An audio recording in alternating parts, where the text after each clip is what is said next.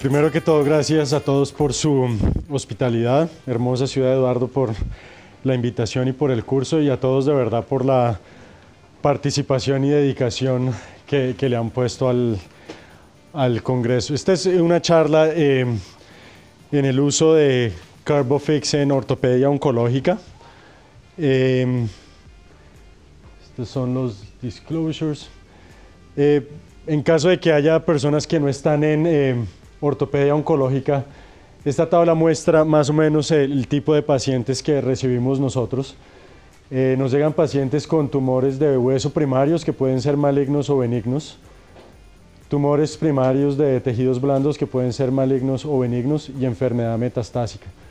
En muchos casos nosotros somos los primeros en hacer el diagnóstico y hacer, eh, organizar toda la parte de biopsia y hacer todos los estudios de estadio y en muchas ocasiones hacer las primeras discusiones eh, con los pacientes y sus familias en términos de pronóstico y tratamiento. El uso de estos implantes de carbono creo que tienen un... Eh, gran espacio en los tumores eh, primarios eh, malignos eh, de hueso, especialmente en las reconstrucciones con aloinjertos, en los tumores primarios malignos de tejidos blandos, en los que hay que hacer resección con periósteo o con parte del hueso para obtener un margen negativo, y especial, caso especial en pacientes que en esa situación han recibido también tratamiento con radiación y están a un riesgo significativo de fractura patológica. Em, y esa es una eh, eh, fijación profiláctica. Y en pacientes que, con enfermedad metastásica. Em, la evolución de los implantes en eh, ortopedia empezó con la creación de implantes de acero inoxidable con un módulo de elasticidad no muy favorable cuando es eh, comparado al, hueso. Una progresión similar eh, tomó lugar con eh, titanio y a pesar de que las propiedades fueron mejores con relación al módulo de elasticidad, hubo problemas con corrosión y reacción biológica de los tejidos frente al titanio. Y hoy hay una serie de materiales que son mezclas que eh, pueden ser eh, combinaciones de diferentes metales eh, comparados contra el titanio y otros materiales que son polímeros o resinas que tienen propiedades mucho más biológicas y buenas propiedades biomecánicas. Los problemas con el metal principalmente están listados aquí. El primero es,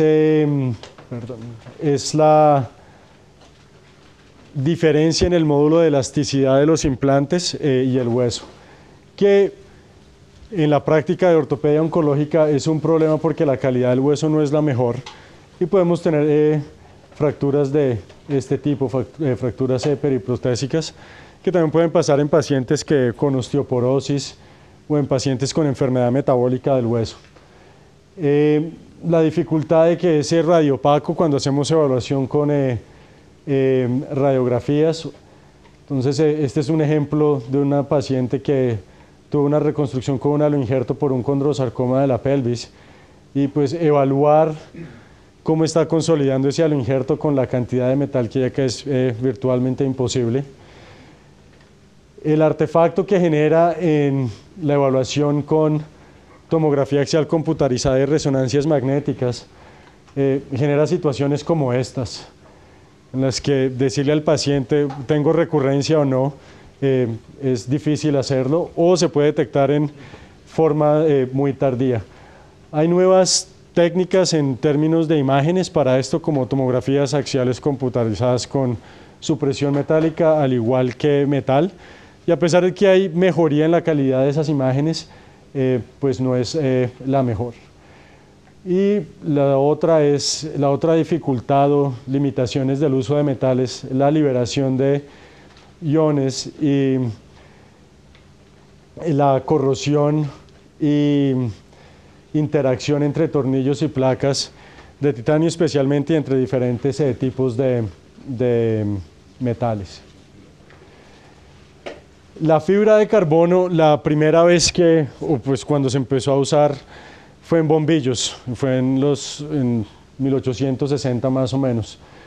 Y de esas eh, fibras se pasó a un desarrollo en el que se mezcla el carbono con resinas eh, para dar, eh, crear elementos que son buenos para reconstrucción. Entonces yo creo que todos están familiarizados con, por ejemplo, las las, eh, y los implantes para columna, eh, para fijación en eh, columna lumbar o en columna cervical.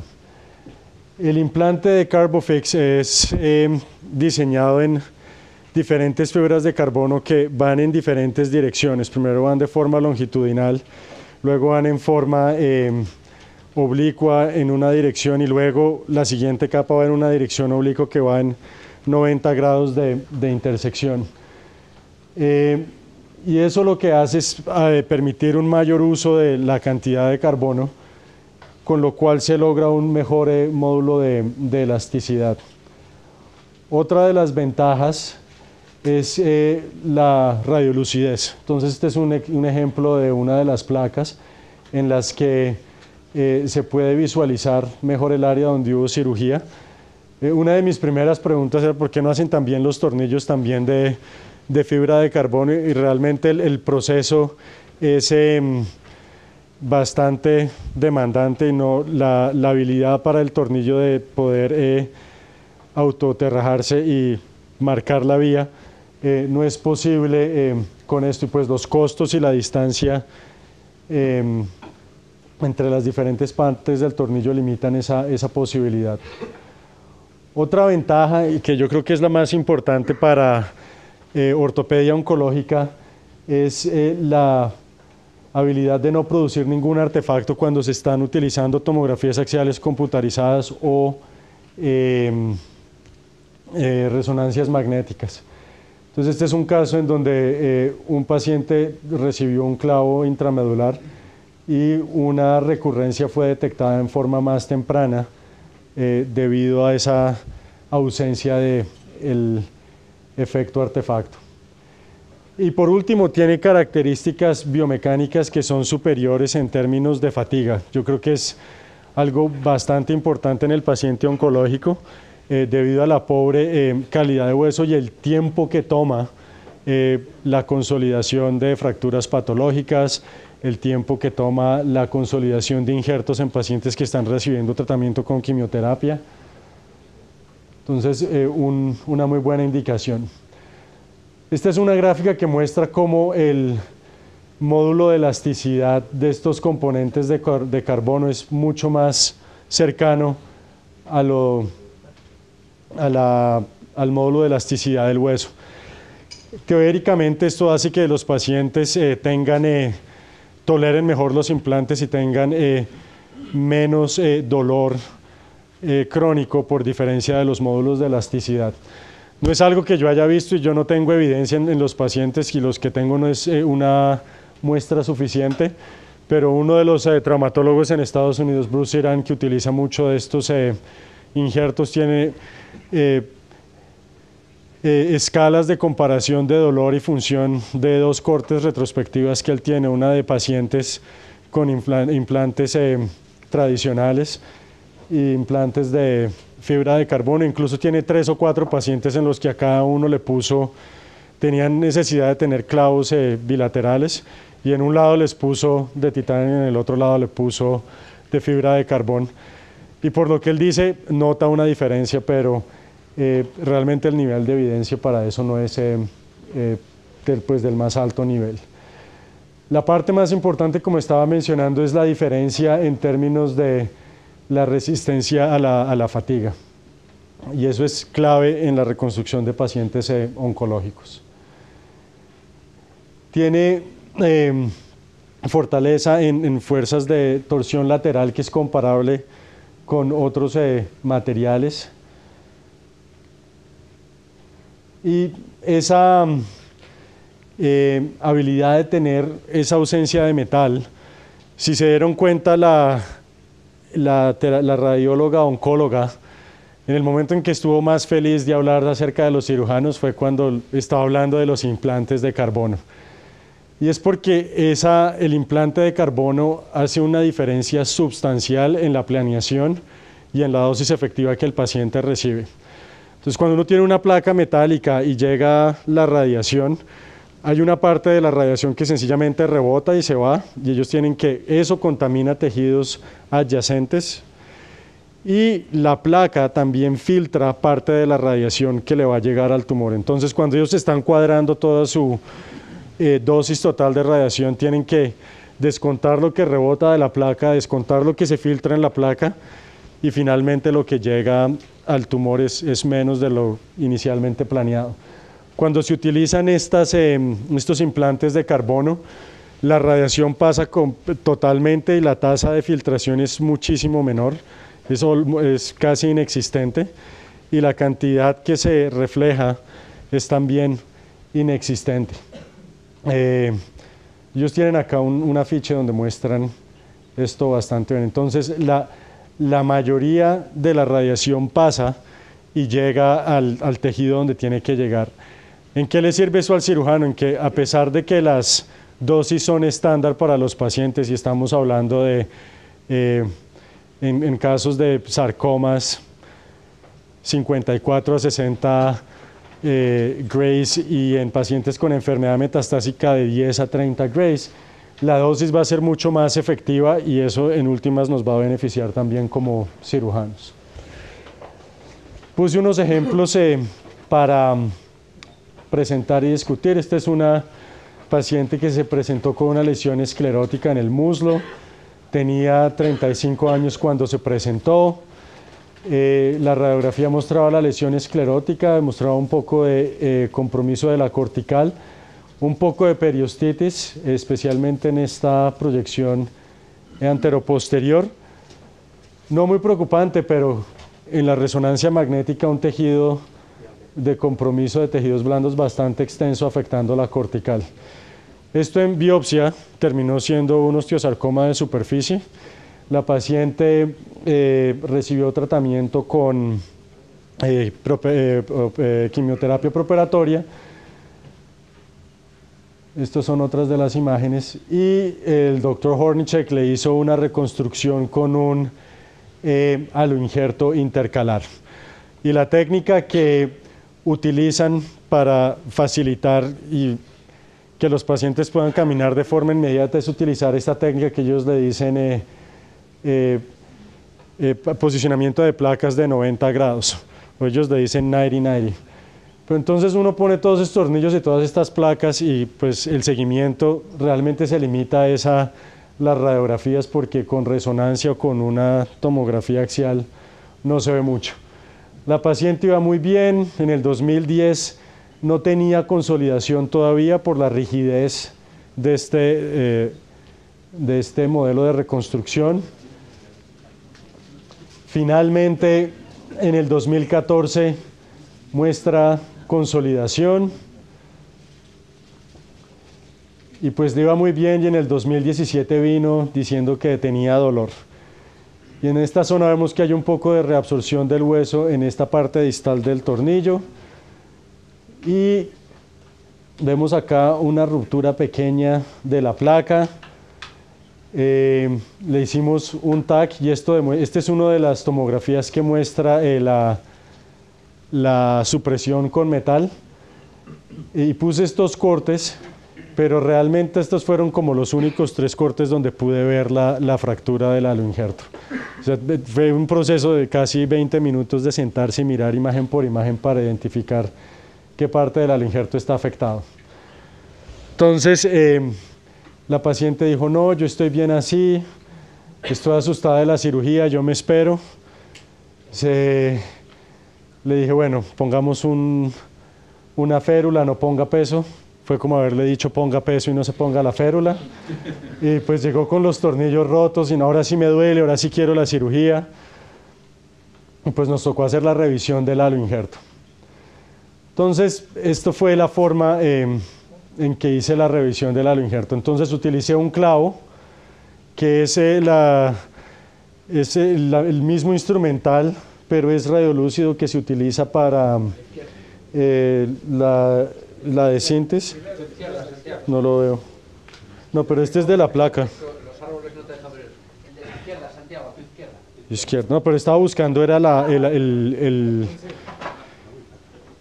Esto es igual al de la, es como el- igual al de Sintes para el TFN.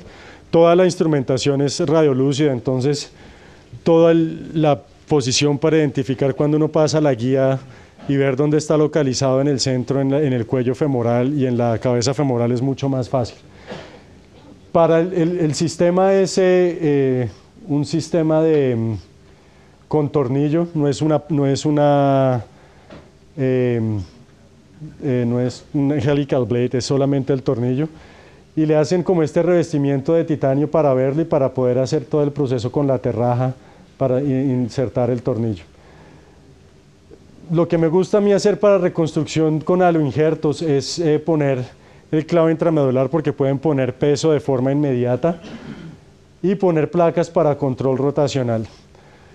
El problema de estas placas de carbono es que no se pueden eh, eh, doblar, no se, no se les puede dar eh, perfil.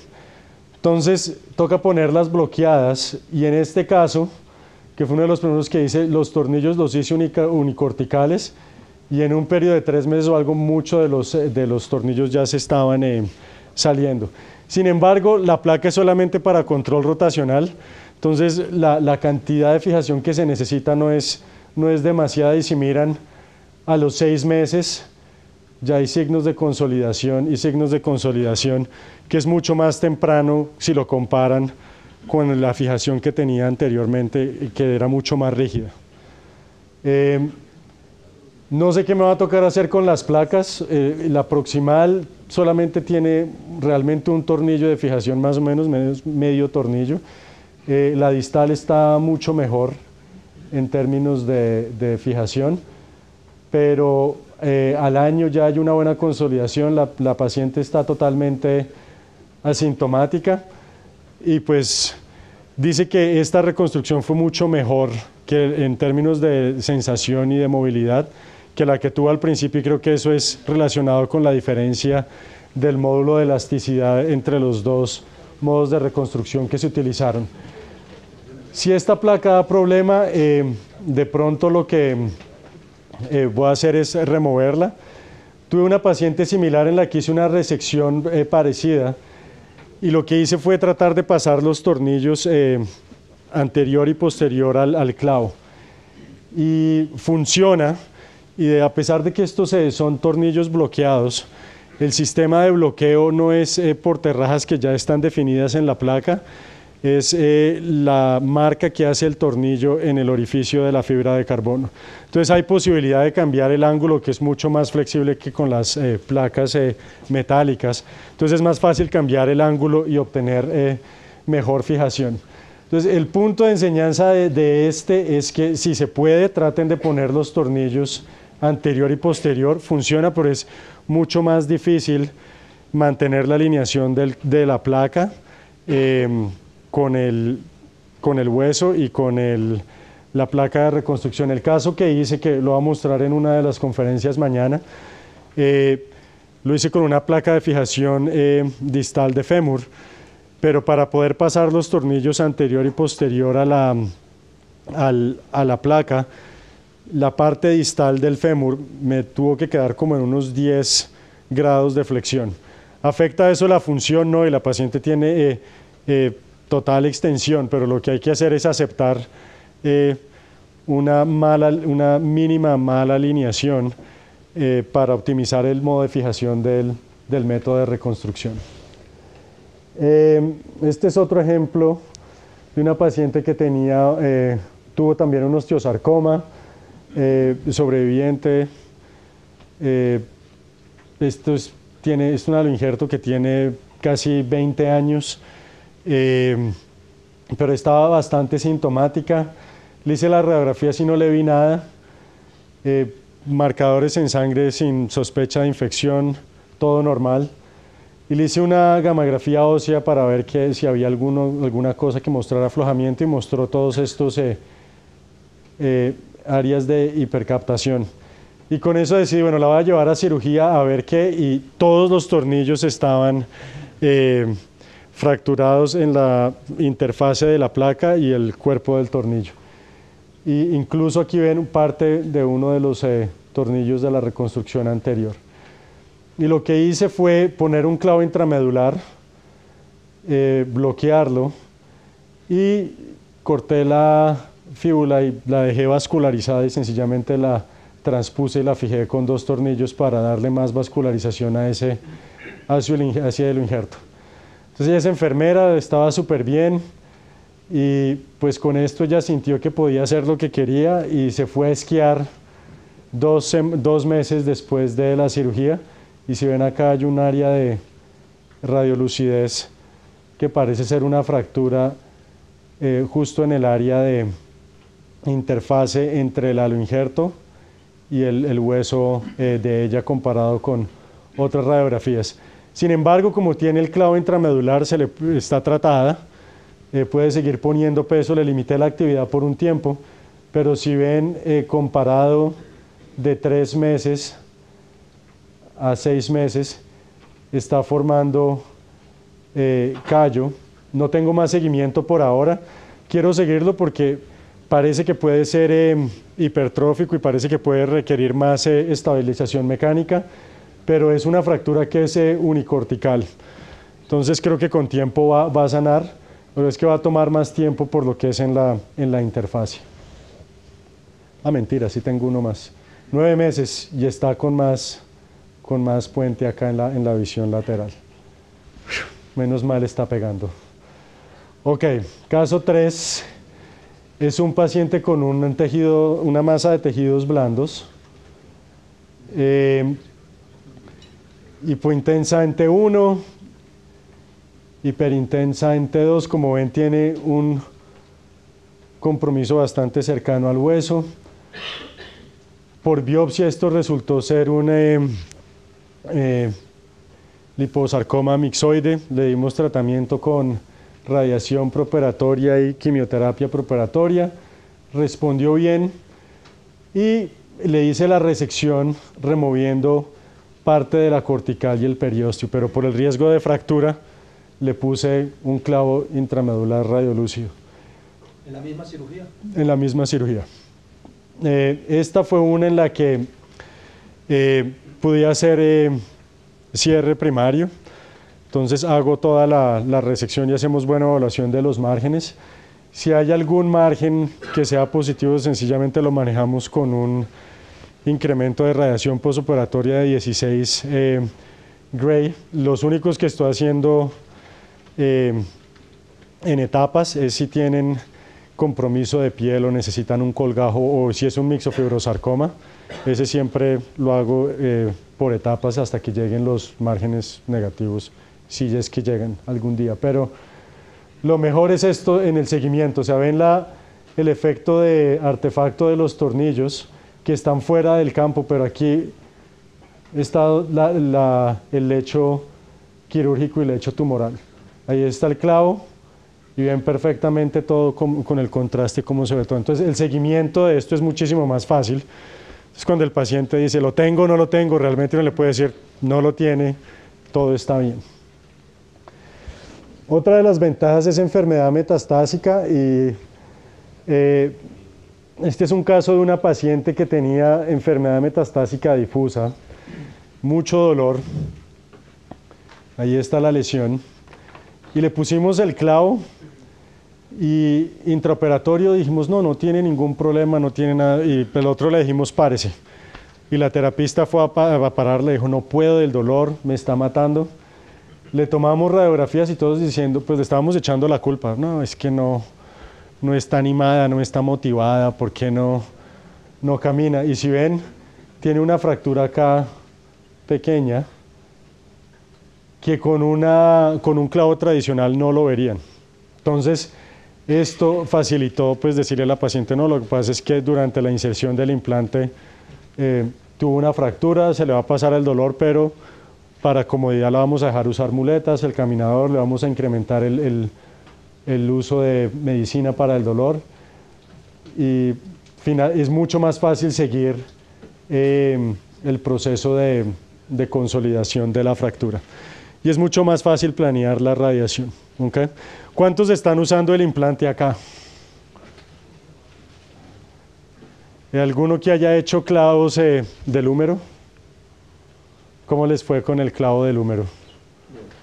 Sin problema. Entonces, hay, hay personas, una diferencia es que el clavo humeral no es eh, canalizado, entonces eh, no pueden pasar la guía primero y como en el sistema de síntesis de poner el, la guía y sobre la guía poner eh, el clavo intramedular.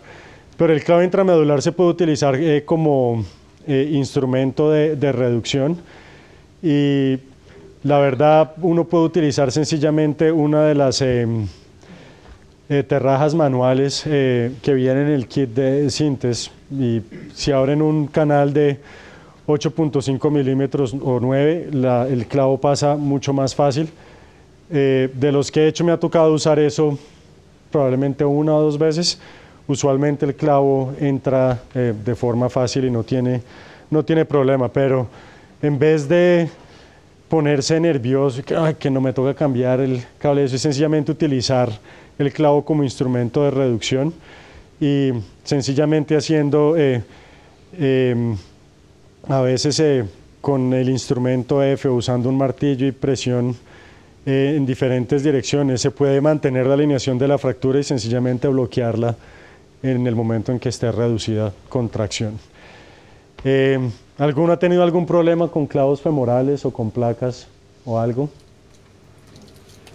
Just, okay, that's very good Spanish. Yeah, you, have, you can ask.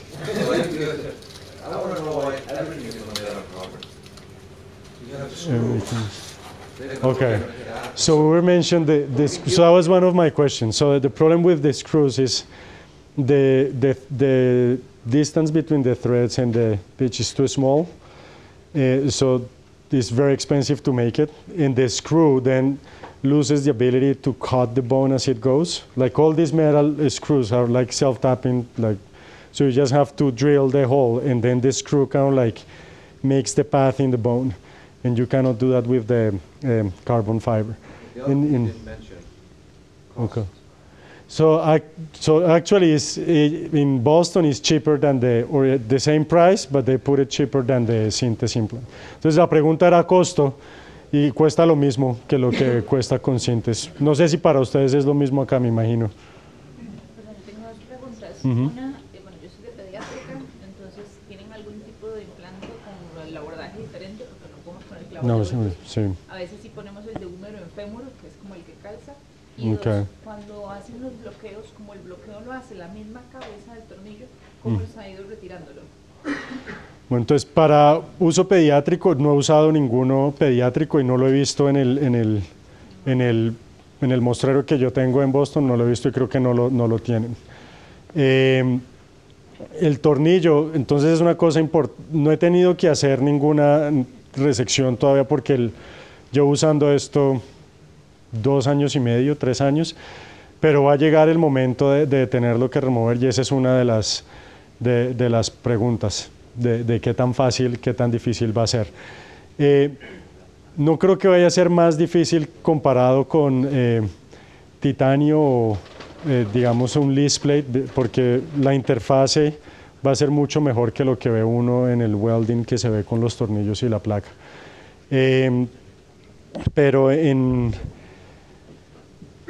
de lo que ha dicho Bruce Iran, que es el que ha usado más de esto y lo ha usado en, la, parte de traumatología y para revisiones de no uniones y maluniones, él dice que no ha tenido problema.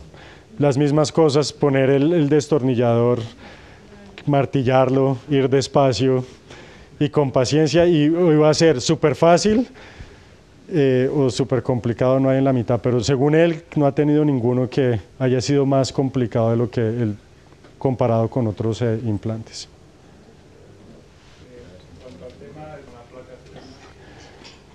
No lo he hecho, es, es, una buena idea. Se puede utilizar porque la placa es igual que la placa de síntesis, entonces las olivas que se utilizan para eh, mantener el cable son las mismas. Eh, el problema con el la razón por la que yo uso la placa es por control rotacional. Entonces, cuando yo pienso en el cable, el cable no da tanto control rotacional. Tengo un caso un paciente que tuvo una fractura subtrocantérica patológica, que tenía un espiral largo, y lo que hice fue reducirla con cables y poner el, el, clavo radiolúcido. Pero la razón por la que uso las placas en, en el injerto es por control rotacional. Eh, entonces me parece que el cable no da lo mismo de, de control, pero se pueden usar, eh, si lo quieres usar para fractura, para cualquier. Oh, sorry. So the system, um, so it's, a, it's the same system that is an interlock system. So, but instead of saying a circle or having a perfect circle, what you have is four dots in the AP view. And then when you go on the lateral view, those four dots, like, and you have the same on the side, you have four dots around the, you have these two dots and these two, so you see them like this way. When you go on the lateral, they should line up, and instead of seeing the two, the four, the four dots, you should see only two and you basically put the drill in between the two dots. And that's the most, like my partner was trying to use the system, and it takes, I would say it takes probably like, on the third nail, you feel comfortable doing the, the dots because we're accustomed to, you know, big circle, uh, you go Mach 1, Mach 2, you have a circle that is this big in the screen and you go like, got it. With this, it's not like you really have to line it up. And if you have an assistant that moves a little bit, or like then the circles come out of position. So at the beginning, I was very obsessive, like, no, they have to be perfect, like you cannot move. But if they're like close enough, like you can open one cortex, and then when you tap the drill, you can find the, the hole in the nail and go straight. But it, it's a little finicky at the beginning, but then uh, you just get used to it, and then you just go and it's just be sure that you have the two circles or very close to the two circles, like they're like a millimeter away or something like that. And you have to check always in both, both views. The key to know that if you are in the, in the hole is that in your AP view, your screw has to be uh, in between the four dots. So let me just get a, a view here.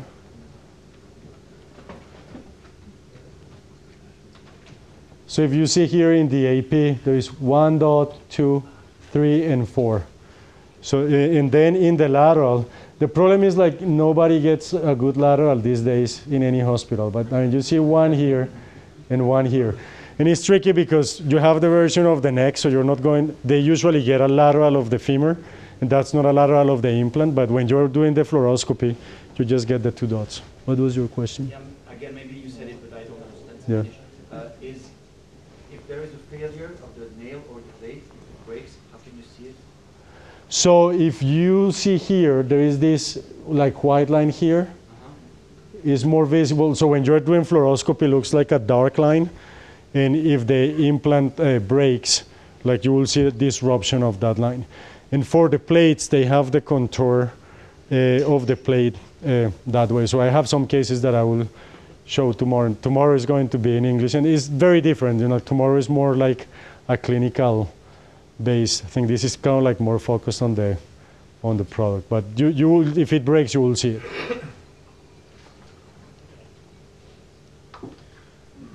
¿Any otra pregunta? ¿Alguien lo ha utilizado para traumatología? ¿Cuántos hay que sean traumatólogos que hagan cirugía de trauma?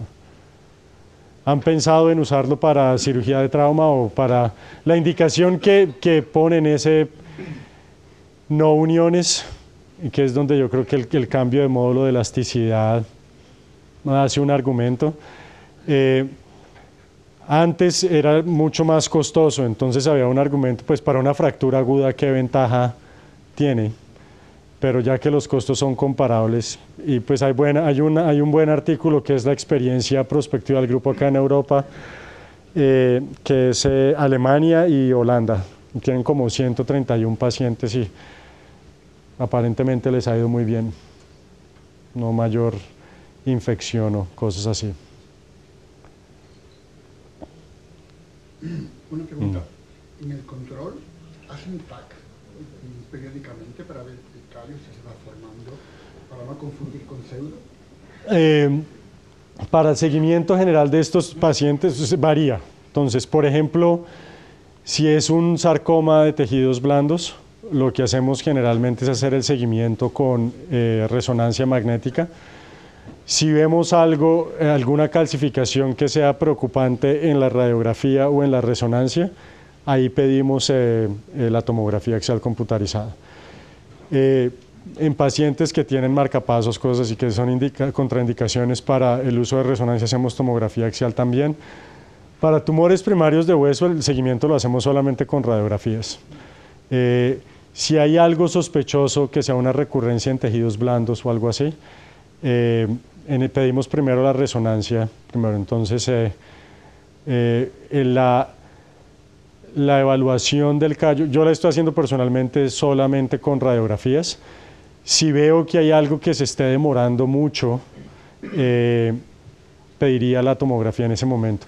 En el primer caso de la paciente estaba preocupado porque era pues, casi un año y el callo no está como tan bien como me gustaría verlo, pero pues hay que poner que eh, antes tenía 35, ahora tiene 46 y comparando la tasa de formación de hueso, la que tuvo ahora fue mucho mejor que la que tuvo hace 10 años y eso me, me tranquilizó. Y con la otra paciente fue la ausencia de síntomas, a pesar de que no sé todavía, eh, en autocrítica eso puede ser una pseudoartrosis hipertrófica y de pronto me va a tocar poner algo más rígido para fijarlo, pero pensando en que la fíbula que tiene ahí es vascularizada y la fractura es unicortical, si sigo rezando va y, va sana sin problema. Okay. Bueno, gracias por su atención. Si quieren mirar acá los implantes, no sé si ustedes les quieran mostrar algo de, de los implantes.